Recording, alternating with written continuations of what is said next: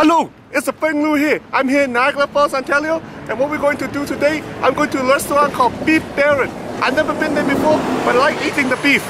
So much beef, I get so full of beef. Beef. Okay, bye-bye.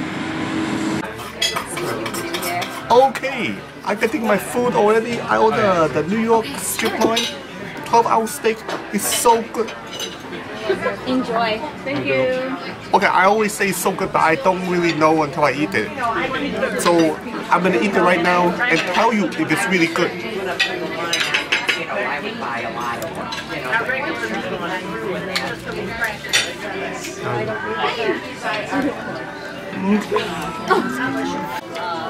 Okay.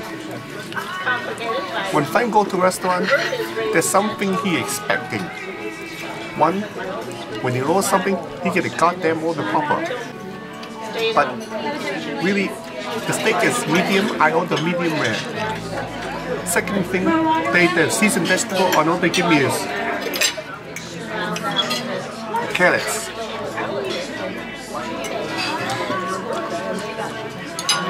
So I halfway through my meal, Is not impressed. Not impressed at all. Disappointed actually. And you know who else is going to be disappointed? You.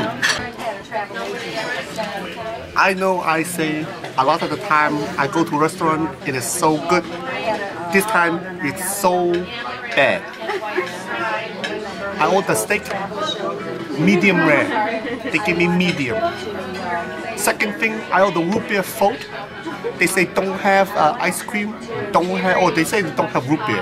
I asked for Pepsi float. They say no, they can't do it. Dessert menu, ice cream, bitches.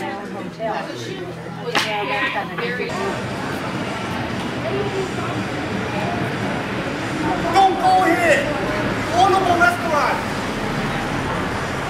Also, I didn't hide the position!